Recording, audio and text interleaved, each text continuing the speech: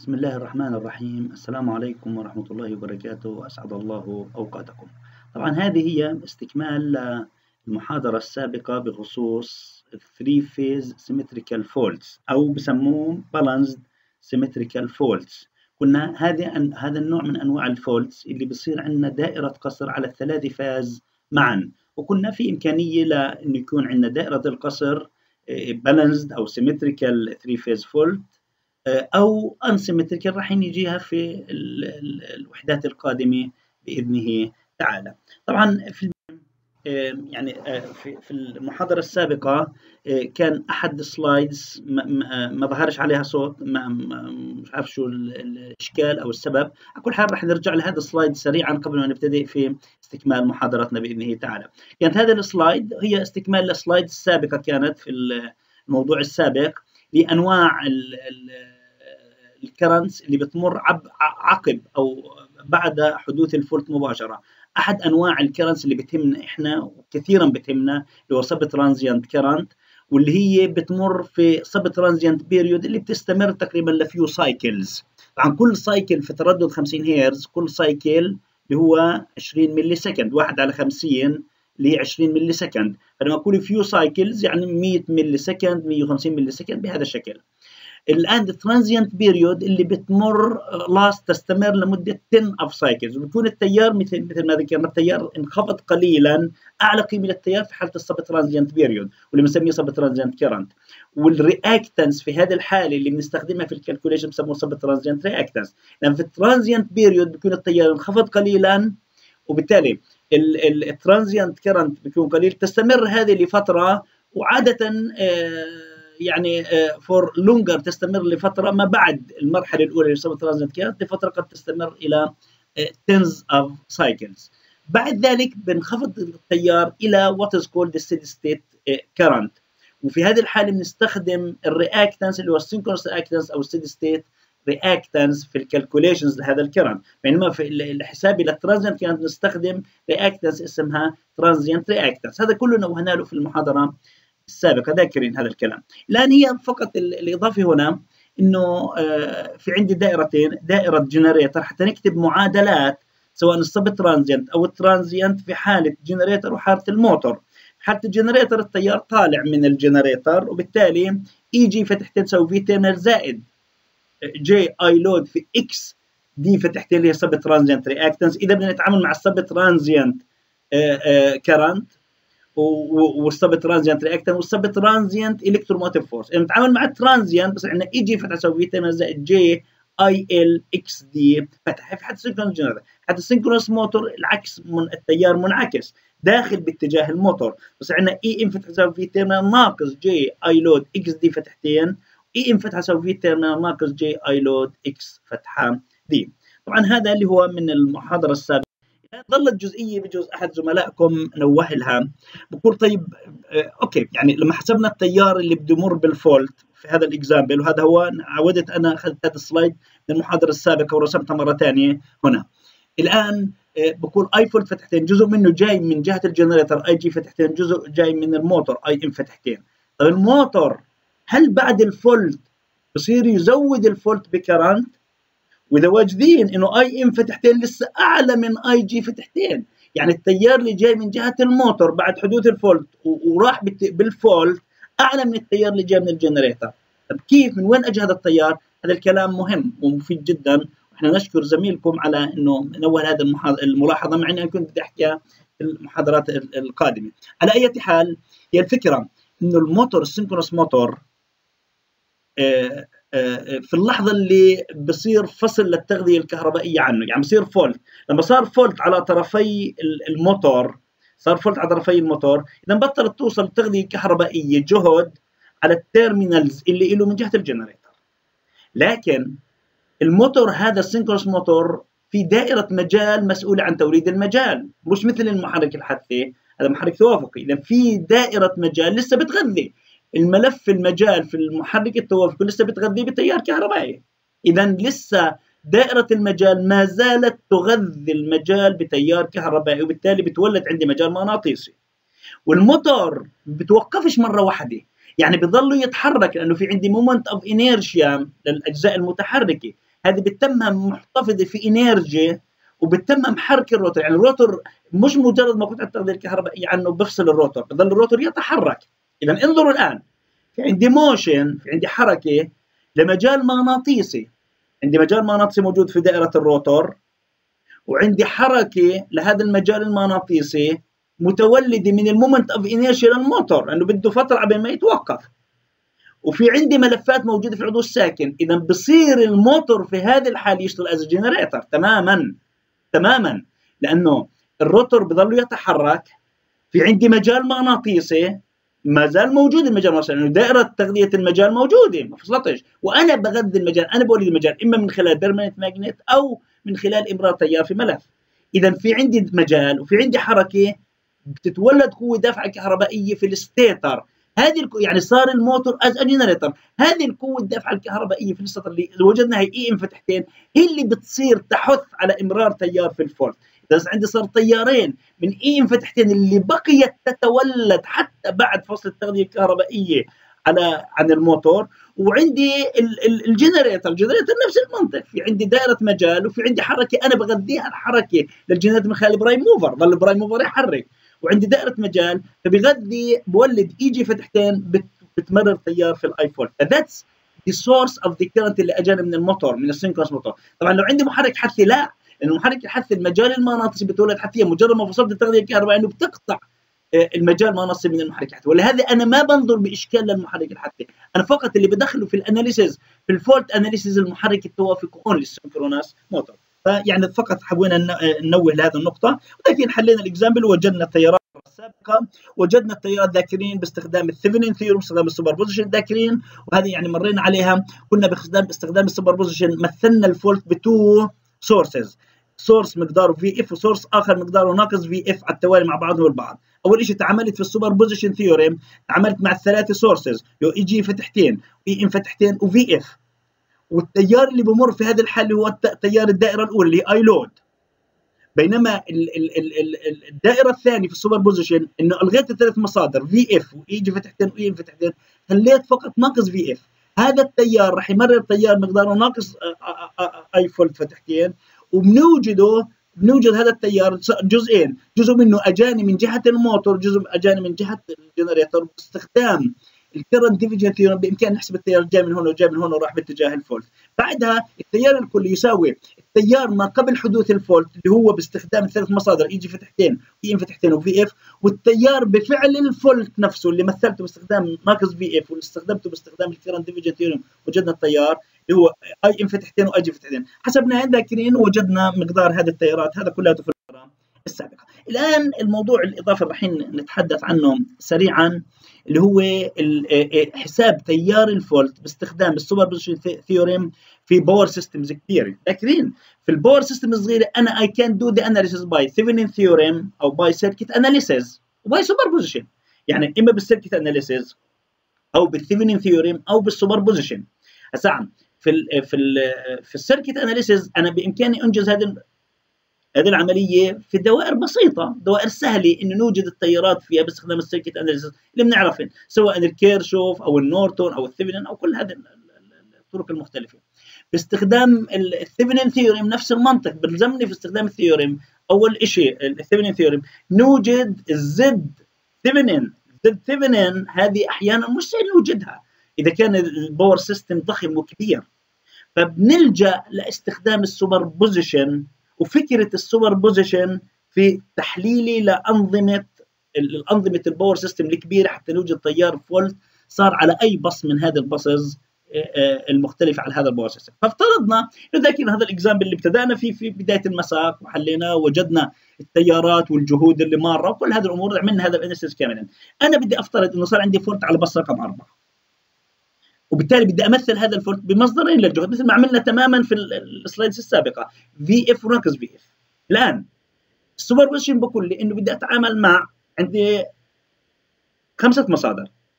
بدي أتعامل مع أربع مصادر على حدة اللي هن E A فتحتين و E C فتحتين و E B فتحتين مع زائد V F وهذه بيمثل التي... ال power system ما قبل حدوث ال fault ال power system الثاني اللي هو ال superposition الثاني إنه بدي ألغي هذول الأربع مصادر وبدي أخلي بس ناقص VF وبدي أوجد التيار. أنا ال analysis هذا اللي موجود في نهاية هذا ال slide الحال الثاني إنه بدي أخلي ناقص VF بدي ألغي المصادر الأربعة يعني فيش عندي current injection على بس رقم واحد ولا بس رقم اثنين ولا بس رقم ثلاثة. فقط عندي current injection على بس رقم أربعة بفعل مصدر للجهد مقداره ناقص VF فلو جينا كتبنا ال current equation بفعل مصدر VF بصير عندنا 0 0 0 اللي هي ال current لأنه فيش عندي current injection على بس واحد ولا اثنين ولا ثلاثة اذا zeros. فقط في عندي current injection على بس رقم أربعة ناقص IF لأنه IF انظروا خارج من ال من هذا الباص. في المعادلة لازم يكون التيار داخل الباص حطيته ناقص IF so في ال admittance matrix هذا ال process هذه already ال admittance matrix واجدينها إحنا من قبل ذاكرينها. في V 1 delta V 2 delta V 3 دلتا ناقص VF هذول الجهود على ال buses المختلف بفعل ال fault بفعل ناقص VF على بس رقم 4 قديش الجهد ناقص VF على بس رقم 1 قديش جهد V 1 delta V 1 دلتا يعني الجهد على بس رقم 1 بفعل ال fault. لو جينا حولنا هذه ال admittance equation ل impedance equation بصير عندنا الجهود بيساوي ال Z matrix في التيارات.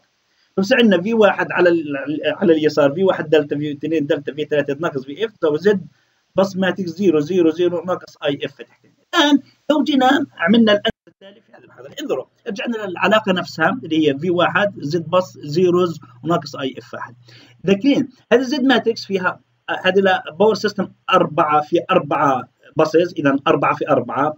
الرول الأول فيها زد واحد واحد زد واحد اثنين زد واحد ثلاثة زد واحد أربعة. الرول الأخير فيها زد أربعة واحد زد أربعة اثنين زد أربعة ثلاثة زد أربعة أربعة. انظروا ال row الأول لو جبت أو V واحد دلتا تساوي ال row الأول في ال Z matrix في معادلة ال currents اللي 0 0 0 ناقص I بيطلع لنا بيطلع لنا إيه المعادلة V 1 دلتا تساوي ناقص IF Z 1 4 انظروا ثلاثة لأن Z واحد واحد في zero صفر. Z واحد اثنين في zero صفر Z واحد ثلاثة في zero صفر. بضل عندي Z واحد أربعة في ناقص IF فتحتين. فبيطلع لنا V واحد دلتا تساوي. هسا لو جينا للصف الأخير إذا هذا خليه عندنا. الصف الأخير الصف الأخير إذا ناقص VF تساوي الصف الأخير في عمود ال current.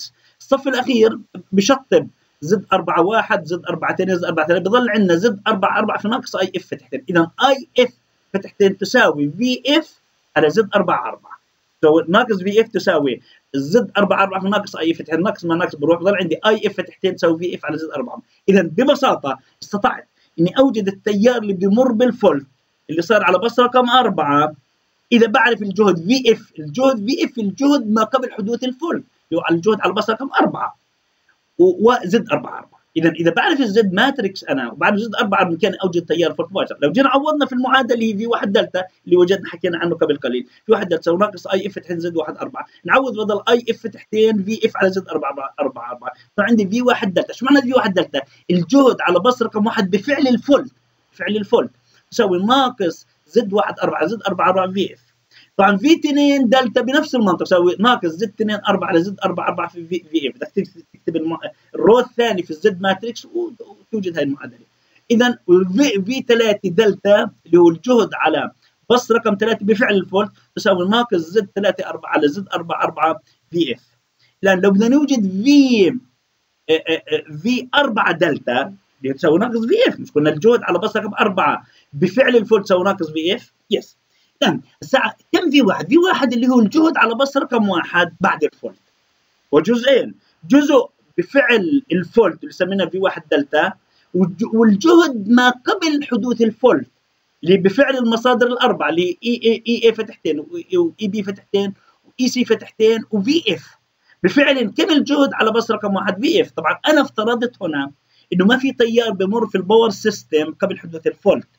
افترضنا هذا هذا الافتراض. طبعا هذا افتراضي مش دقيق بالتأكيد. لأنه إلا في تيارات بتمر على ال power شو في ال power system مش يكون تيارات من من باص إلى باص. اذا فرضي مش سليم مش صحيح. لكن دقيق إلى درجة كبيرة. لما بدي أقارن ما بين التيار قبل حدوث ال fault وتيار ال fault تيار قبل حدوث ال fault كان يمر في ال power system قليل جدا بالنسبة لتيار ال fault. لهذا بإمكاني أهمله بالنسبة إلى تيار ال fault. بالتالي لو أهملته وكأنه ال voltage drop على جميع أجزاء ال power system يساوي zero. إذا بصير جميع الجهود على كل ال buses متساوي تساوي VF إذا V واحد اللي هي الجهد بعد حدوث ال fault. يساوي الجهد قبل حدوث ال fault اللي هو VF زائد الجهد بفعل ال fault نفسه. V واحد delta. و V واحد دلتا معدلاتها معلوم. تساوي VF ناقص IF فتحتين Z واحد أربعة. معناها V 2 نفس الشيء تساوي VF ناقص IF فتحتين Z 2 4 و V 3 تساوي V f ناقص I f فتحتين Z 3 4 لأن كم الجهد على بس رقم 4 بعد حدوث fault هو صار بس رقم 4 عليها fault. اذا الجهد عليها يساوي zero. اذا تساوي V f ناقص V f وتساوي لو أخذنا example اللي هو نفس ال example لكن إحنا هذا ال example وجدنا ال Z matrix له في ال في ال chapter الأول في المحاضرات الصفية. وبالتالي بدي أوجد I f تساوي V f على زد 4 4 زد 4 4 جي 0.1566 هي I I f V واحد تساوي V f ناقص ذاكرين ذاكرين المعادلة اللي حكيناها قبل قليل. زد 1 4 على زد 4 4 في في اف في اف 1 زد 1 4 زد 4 4 وهكذا V 2 شو معنى V 2 يعني الجهد على بس رقم 2 بعد حدوث ال fault. وهو بعد ما صار ال fault. كم الجهد على هذا الباص؟ يساوي الجهد عليها قبل حدوث ال fault ناقص الف...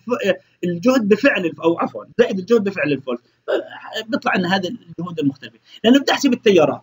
كم التيارات اللي بتمر على في ال في ال الأجزاء ال power system بنوجد التيار اللي مار في في ال section من واحد إلى ثلاثة يعني بين بس واحد وبس ثلاثة. so V واحد ناقص V ثلاثة على j point 25 j point 25 اللي هي ال real impedance أو ال real reactance اللي لهذا ال transmission line على على ال real reactance itself نفسها. مش على Z واحد ثلاثة المقدم من Z matrix no at all no اذا it is the real impedance بدي أحسب الجهد. الجهد معلومة؟ بدي أحسب التيار. بدي نقسم على ال reactance أو على ال impedance أو نضرب في ال admittance لهذا ال reactance نفس المنطق. اذا الجهد على بس واحد معلوم بس ثلاثة بنحسب التيارات وهكذا. From the generator connected to bus واحد. ال generator كم الجهد عليه؟ E فتحتين. كم بس واحد جهده؟ V واحد. على j point 3 j point 3 ال reactance الواصل ما بين ال generator وما بين هذا. لكن في المثال موجوده هذا ال reactance حسبناه. هي بنحسب التيار اللي بتمر. الآن بالنسبة ل مثل ما ذكرنا إحنا شو هدف إنه نوجد التيار بعد حدوث ال fault؟ هي حتى أوجد أداة الحماية اللازمة والمناسبة حتى تحمي ال power system أو الأجزاء المختلفة لل power system من هذا ال fault اللي صار. اذا لازم هذه الأداة الحماية تكون قادرة على فصل هذا التيار. اذا لازم أختارها بحيث تكون قادرة على فصل هذا التيار. اذا لازم احسب قيمة التيار وبالتالي أختار أداة الحماية المناسبة لذلك. لأن سريعا يعني هذه بس يعني سريعا إنه قديش قدرة القطع بسموها لل circuit breaker. short circuit mega volt ampere اللي بتمر so جذر الثلاث في ال nominal volt في I short circuit I short circuit يعني تيار ال fault التيار بده يمر لحظه طبعا عشان اكون عشان بدي اوجدها بال mega volt ampere طبعا هنا لو عرفنا شيء بسموه X Thevenin لو اهملنا resistance واهملنا ال shunt capacitance صار عندي single Thevenin equivalent circuit اللي بتمثل ال system بعد حدوث ال fault سميناها X Thevenin تساوي ال nominal voltage على جذر ثلاثة لأنه phase voltage على I short circuit في لحظة حدوث الشورت فبنوجد X Thevenin يعني كم الممانعة ال X Thevenin بعد ما صار ال fault تساوي الجهد على I short circuit الجهد X Thevenin لو جينا عوضنا بدل I short circuit المعادلة الأولى بصير عندنا X Thevenin تساوي nominal kilo volt تربيع على short circuit mega volt ampere لو بدي أحسبها per unit بتطلع عندنا واعتبرنا إنه ال kilo volt ال base value تساوي ال nominal value لل power system يعني ال base value لهذا ال power system تساوي ال nominal value لهذا ال power system فبإمكاني أحصل ال X Thevenin per unit وبالتالي إكس 7 بصير عندنا I base على I circuit per unit ف that's يعني هي بس للتنويه إنه كم قدرة القطع لل circuit breaker حتى يكون قادر على قطع هذا ال I short الآن لو أخذنا example آخر على استخدامي لل Z matrix في حسابي لتيار ال fault. الان هذا power system بسيط. مكون من من خمسة buses هذا ال power system هذا ال Z matrix له وال short circuit Z matrix يعني الشورت طبعا انظروا. وال generator مثل ما ذكرنا ال generator ال sub transient reactance مختلفه عن ال transient مختلفه مختلفه عن عن ال steady state وكذلك باقي ال components فإذا أنا إذا بدي أحسب ال short circuit current لازم أستخدم ال impedances اللي من خلالها بدي أحسب ال sub transient current هذا. وبالتالي هذه short circuit impedance matrix معطية. لأن sub transient current in a three phase fault on رقم أربعة. شو يساوي؟ I I فتحتين. يعني بدي احسب ال sub transient current على fault صار على البس رقم أربعة تساوي V f اللي اعتبرته واحد وزاويته zero. دائما أنا إذا أهملنا التيارات على ال power system قبل حدوث ال fault V f بعتبرها واحد وزاويتها zero دائما دائما. أنا. Z 4 4 اللي هي j point 2 مش بدي أحسبها على بس رقم 4 إذا على Z 4 4 هي حسبنا I fault اللي هو بده يمر بال fault اللي صار على بس رقم 4 buses 3 and 5 أو the voltages are لو بدي أحسب V 3 so V f ناقص. ذاكرين العلاقة Z 3 4 في I F حسبنا I F و Z 3 4 معلوم نحسبها. بدي أحسب V 5 كذلك. لأن لو بدي أحسب ال current اللي راحت لل fault من بس رقم 3 وبس رقم 5 هسه من بس رقم 3 تساوي V 3 هي في الأصل. V 3 ناقص V 4 V 4 كم؟ بعد حدوث ال fault. تساوي zero اذا V 3 اللي حسبناها ناقص V 4 اللي هي zero over the impedance أو the reactance أو, أو the impedance of the transmission line connecting بس ثلاثة وبس أربعة. هذا في ال example هذا معلومة معلومة قيمة ال impedance طبعا واحد على هذه ال impedance اللي هي ناقص j 2.976 نفس الشيء من بس رقم 5 تساوي V 5 ناقص V 4 اللي هي V 4 zero على ال real impedance connecting bus 5 وبس 4 اللي هي واحد على هذا ال impedance تساوي ناقص j 3.9 كان نحسب التيار. التيار اللي اجى من بس رقم 3 وبس رقم 5 ناقص j 4.03 ونفس التيار اللي حسبناه؟ هي بس رقم 4 فقط لها مصدرين للتيار. مصدر التيار اجى من بس 3 وبس مصدر التيار اجى من بس 5 التيار ال fault جزء منه جاء من بس خمسة جزء من بس ثلاثة. كم التيار جاء من بس ثلاثة وجدنا كم التيار جاء من بس خمسة؟ وجدنا الآن نأخذ example آخر. راح نبتدي في هذا ال example ونكمله في المحاضرة القادمة بإذنه تعالى.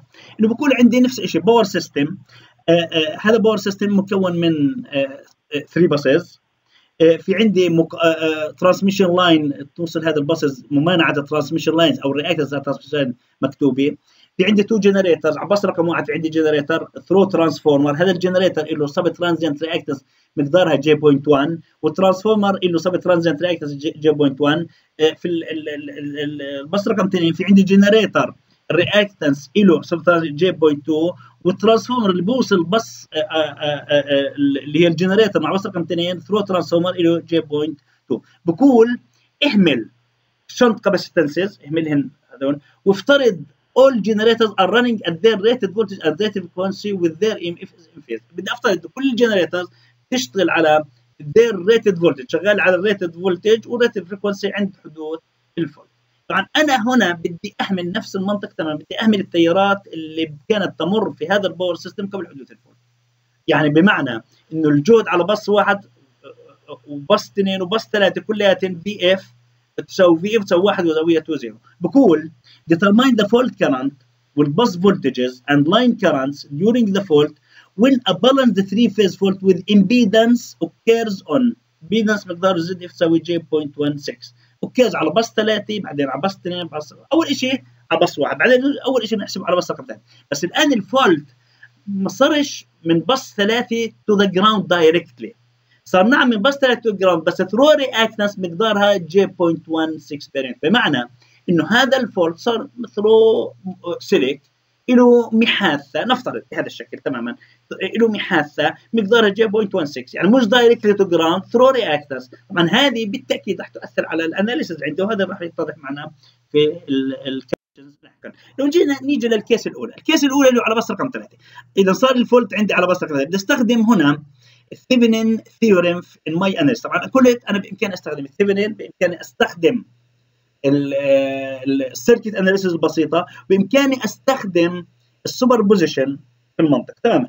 أنا وبإمكاني أستخدم إذا بعرف ال Z matrix بإمكاني أستخدم ال Z matrix directly ببساطة. وهذا راح نحله على هذه أول شيء على استخدام ال Thevenin وبعدين راح نحله على ال Z matrix أول شيء على بس رقم ثلاثة باستخدام ال Thevenin. صار عندي fault على بس رقم ثلاثة.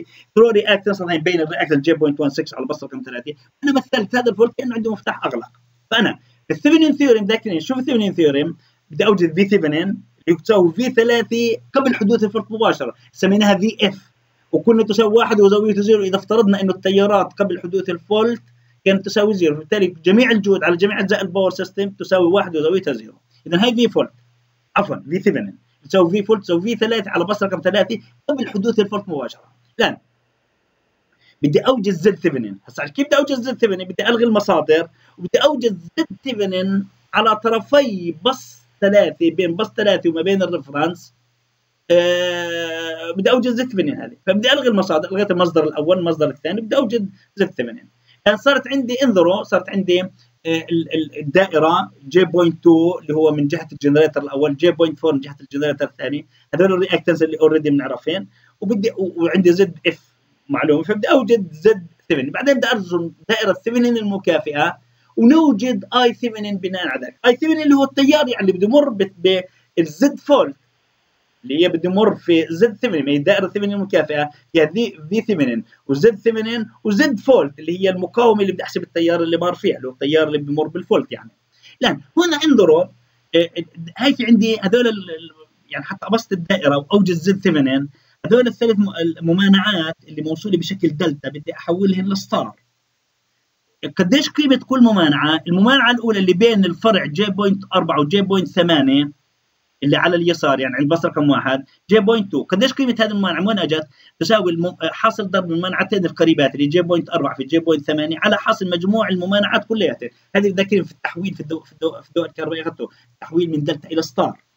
اذا j point 2 تساوي j point 4 في j point 8 على j point 4 زائد j point زائد j point 4 نفس الشيء على بص رقم 2 j point 8 في j point 4 على مجموعهم هسا في بص. على بص رقم 3 تساوي j point 4 في j point 4 على مجموعهم بس عندي قيم الممانعات في ال star connection j point 2 j point 2 j point 1 انظروا الان الفرع ال star اللي على. على اليسار صار على التوالي مع j point 2 اللي هي موصوله مع ال ground اللي على اليمين ال j point 2 موصوله كمان مع على التوالي مع j point 4 بعد ما حولنا من دلتا إلى star وال j point 1 صارت موصوله مع دائرة Thevenin يعني مع Z fault اذا صار عندي في هذه الحالة انظروا حتى اوجد Z Thevenin j point 2 مع j point 2 توالي j point 2 مع j point 4 توالي كلاهما على التوازي مع بعضهم على التوالي مع j point 1 فوجدنا Z Thevenin. هذا راح في ال circuit هذه. فانظروا هي ال circuit بعد ما بسطناها بهذا الشكل صارت.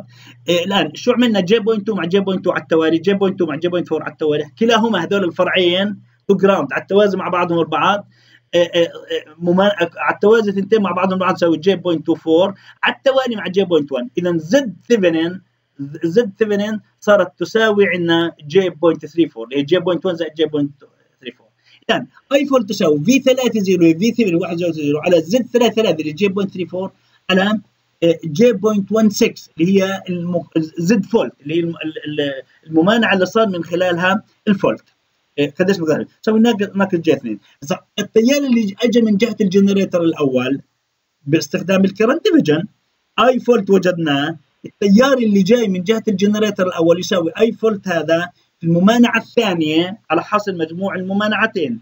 يعني الممانعة الثانية j point 6 أنا مجموع الممانعتين هي j point 6 و j point 4 اللي على التوازي مع بعضهم البعض. بال current division I G ثنتين بنفس المنطق تماما نسوي ناقص j point 8 per unit الان delta V واحد شو معناها؟ يعني الجهد على بس رقم واحد بفعل ال fault. يساوي استخدام ال circuit analysis البسيطة هنا. يساوي التيار وجدناه التيار اللي جاي من جهة ال generator الأول وجدناه في الفرع اللي قبل أي جي أي جي واحد. راح يمر في ممانعة j point 2 j point يعني j point 4 j point 4 أنا بدي okay راح يمر حتى أوصل لبس واحد راح يمر هذا التيار في j point 2 only فجينا ضربناه في j point أو هذا التيار حطينا zero لأنه أنا الجهد من بص رقم واحد باتجاه ال ground بينما التيار مار من ال ground باتجاه بص واحد حطينا ال negative هنا. صار عندي zero ناقص. j point 2 باستخدام ال circuit analysis بسيطة. بدي أحسب الجهد على بص واحد في الدائرة هذه اللي على اليسار ببساطة ببساطة. فصار عندنا ناقص 0.24 delta V 2 بنفس المنطق تماما لأن صار التيار اللي هو اي جي فتحتين بده يمر في جي بوينت 4 حتى أوجد في 2 عنده زيرو. طبعا دلتا في 3 بإمكاني أحسبها بالسيركت اناليسيس نفسه دلتا في 3 هو الجهد على بس رقم 3 بحسبها من أعلى هو تيار اي جي اي جي اي جي اي جي 1 اي جي 1 يس بده يمر في جي بوينت 2 جي بوينت 2 وبعدين كل التيار لو اي فرد بمر جي بوينت 1 باستخدام السيركت أناليسيس بامكاني أحسب دلتا في 3 عدة طرق بامكاني أحسبها فحسبنا هنا. صعب كم V واحد adding these changes to the pre-fault values. إذا كم الجهد على بس رقم واحد بعد ال fault. of F تساوي بعد ال fault تساوي V واحد of zero يعني قبل حدوث ال fault مباشرة زائد delta V واحد الجهد بفعل ال fault واحد ناقص تساوي 0.76 V 2 تساوي V 2 قبل حدوث ال fault زائد delta V 2 يعني الجهد على بسط رقم 2 بفعل ال fault حسبناه وجدناه V 3 وجدناه بإمكانك تحسب التيار. كم التيار بعد حدوث ال fault ما بين بس واحد وبس اثنين؟ تساوي V واحد وجدناه ناقص V 2 of F على Z واحد اثنين. Z واحد اثنين ال real impedance connecting bus واحد وبس اثنين. حسبناه I واحد ثلاثة I اثنين ثلاثة بامكاننا نحسب كل هذه القيم المختلفة. لو صار عندي ال fault سريعا هون بدي أمر عليه سريعا بتكملوه أنتم لو صار عندي ال fault على بس رقم 2 انظروا على بس رقم 2 نفس الشيء بدي بدي أرسم دائرة Thevenin المكافئه على بس رقم 2 V Thevenin مع Z fault. بدي أوجد Z Thevenin على بس رقم 2 لأن انظروا حتى أوجد نفس الشيء V 2 واحد وزاويته zero قبل حدوث ال fault مباشرة.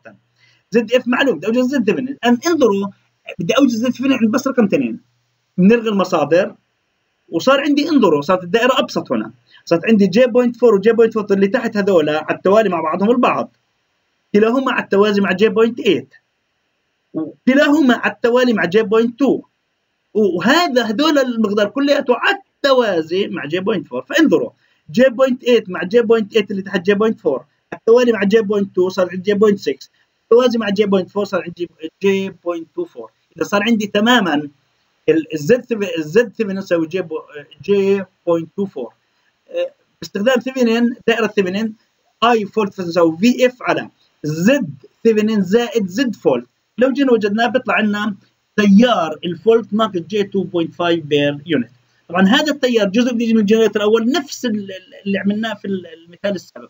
جزء بيجي من ال generator الأول جزء بيجي من ال generator الثاني.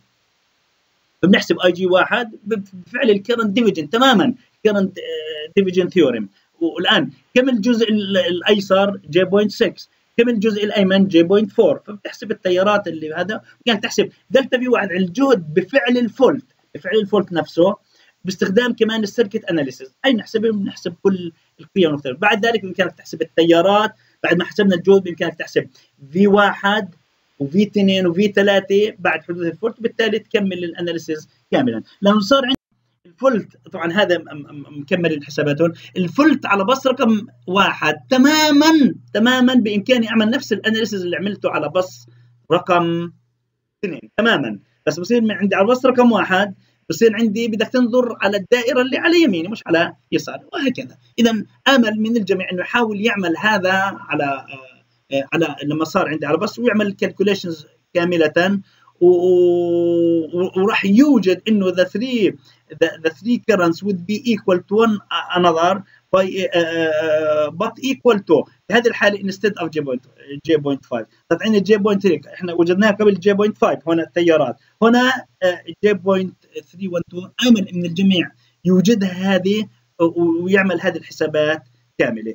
إيه، راح بإذن الله بإذن الله هذا الاكزامبل راح نحله في المحاضرة القادمة بإذنه تعالى باستخدام ال impedance لو كانت عند ال impedance matrix باستخدام ال impedance matrix analysis. وهذا الكلام راح نشوف نلحظ سهولة الموضوع باستخدام ال Z matrix بإذنه.